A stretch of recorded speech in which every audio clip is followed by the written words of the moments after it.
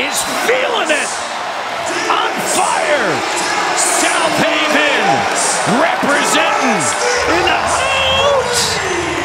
He has broken the 30-point barrier